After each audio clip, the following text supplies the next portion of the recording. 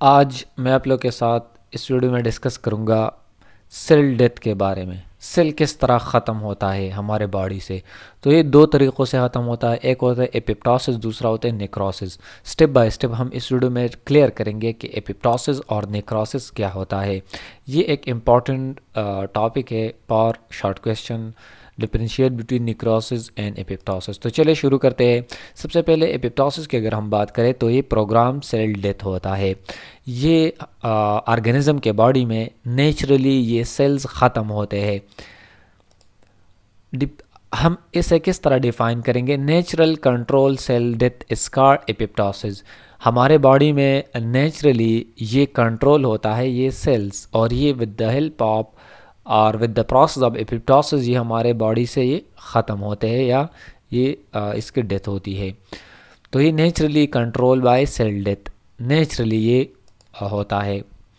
Explanation की अगर हम बात करें genetic events lead to cell shrinkage without content release अब इसमें क्या होता है, ये जितने भी इसके कंटेंट्स है, ये इससे रिलीज़ नहीं होता है, बस इसमें ख़त्म होता है।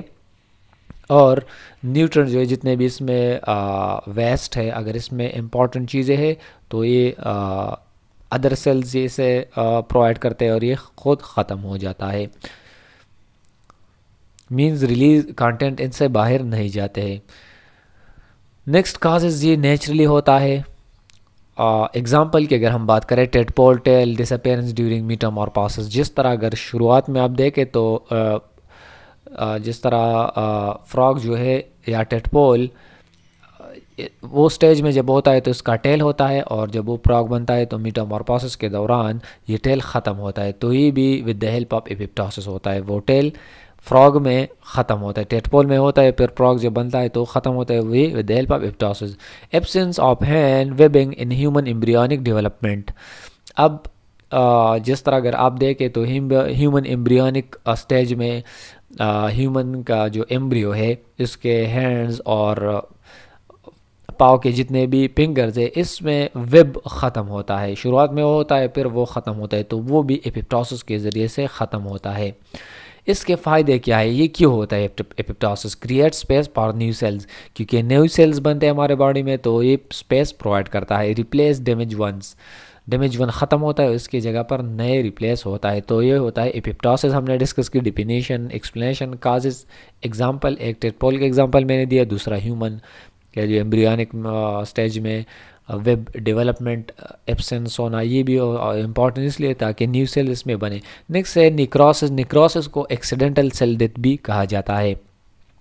Cell death due to tissue damage जब टिश्यू डैमेज हो जाए तो ये एक्सीडेंटली सेल्स ख़त्म होते हैं इसकी डेथ होती है। Cell swells burst release content causing inflammation इस प्रोसेस में क्या होता है? सेल जो है वो स्वेल होता है। नॉर्मल साइज़ से उसका साइज़ बड़ा होता है बर्स्ट होता है uh, बाज़ अवकात केसेस में और इसके जितने भी कंटेंट्स है वो बाहर रिलीज़ होता है और इन्फ्लेमेशन काज होता है। इसके काजेज़ क्या होता है? किस वजह से ये निक्रोसिस और एक्सीडेंटल सेल डेथ अकर होता है। काजेज ये टॉक्सिक केमिकल्स जब आप एक्सपोज होते हो ऐसे केमिकल्स के सामने जो टॉक्सिक केमिकल्स है इसके ज़रिए से भी हो सकता है रेडिएशन जितने भी यूवी रेडिएशन या और भी आ, जितने भी रेडिएक्टिव रेडिएशन है उसके ज़रिए से भी सेल्स का डेथ होना और इसके साथ जिस तरह आप एक्सरे होना और इसमें रेडिएशन मुख्तलिफ़ किस्म के रेडिएशन आते हैं। इसमें हीट को एक्सपोज करना ये भी हमारे पास सेल ख़त्म होते हैं ट्रामा ट्रामा में भी सेल्स का डेथ डेथ होता है।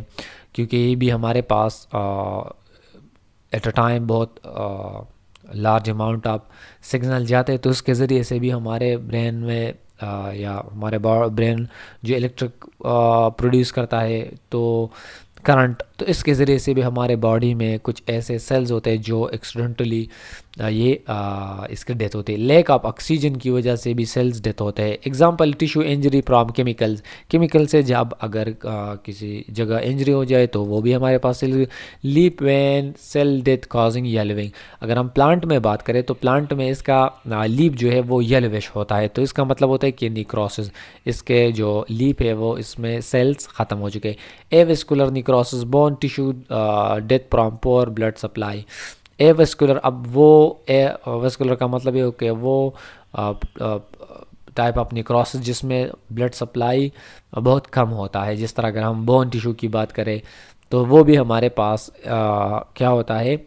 ए सेलर ए वेस्कुलर निक्रोस होता है और वहाँ पर भी हमारे पास सेल जो है वो ख़त्म होते हैं बोन में। तो ये थी कुछ आ, basic terminologies about necrosis and apoptosis मैं उम्मीद करता हूँ कि आप इस वीडियो को लाइक करेंगे, दूसरों के साथ शेयर करेंगे और हमारे यूट्यूब चैनल को ज़रूर सब्सक्राइब करेंगे। Thank you so much for watching bye